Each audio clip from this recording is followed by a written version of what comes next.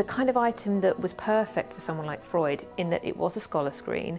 It was meant for um, to, for a kind of an academic to have on his desk and really reflect and uh, create this this space of um, yeah contemplation and and reading and knowledge and everything like that. So really, it fits Freud perfectly.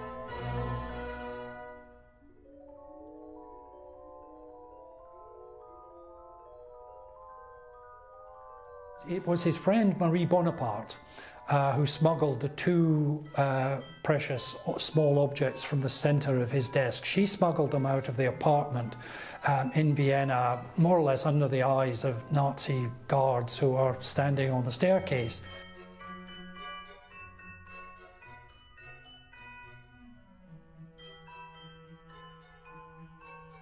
He's got a very tortured facial expression, um, which looks an expression of sort of fierce shouting and intimidation. But the, the kind of emotional intensity of this object speaks to me a lot. Um, you know, Freud, it's, it's about healing, it's about emotional pain.